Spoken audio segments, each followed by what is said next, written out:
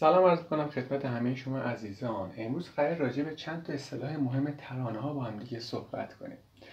اصطلاحاتی مثل کراس یا ترجیبند قسمت میوزیک یا وکال که خیلی از بچه ها سوال می‌کنن یه جایی نمیشه میوزیک وکال یا چیزهای دیگه یا اصطلاحاتی که بهشون میگم قسمت کراس رو درست کن ترجیبند رو درست کن یعنی چه؟ اصطلاحات خیلی مهمی هست که می‌خوام راجع بهشون با هم صحبت کنیم. چند تا از قطعات ساده ایرانی دارم بهتون نشون میدم که واسهتون راحتتر و ملموستر باشه این قضیه. به عنوان مثال آهنگ گل گلدون.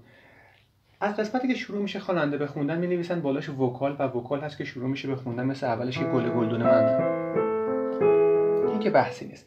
قسمت chorus یا ترجیع‌بند به قسمتی از آهنگ میگن که خواننده اون رو چند بار می‌خونه و اصطلاح بهش میگن گل آهنگ قسمت اصلی آهنگی که حالا راجع بهش صحبت نمی‌کنم. اینجا کارگاه شعر و ترانه نیست که بگیم دقیقا چه خصوصیاتی داشته باشه در برگیرنده کلیت ماهیت اون شعر باشه ترانه باشه. راجع صحبت نمی‌کنم. ولی قسمت اصلی قطعه که آهنگ اگه گوش کرده باشین خواننده چند بار اون سیر رو می‌خونه و قسمتی هست که همه باش زمزمه می‌کنن این قسمت است. مثل توی گل گلدون که میگه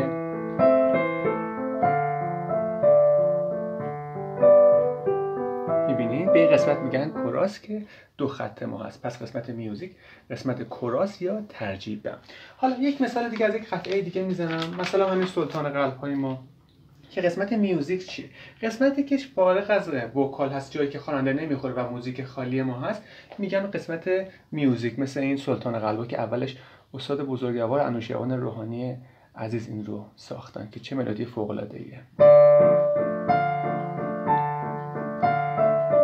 موزیک اولی است و از صفحه دوم که آهنگ شروع میشه و میگن یه دل میگه از اونجا قسمت وکال شروع میشه.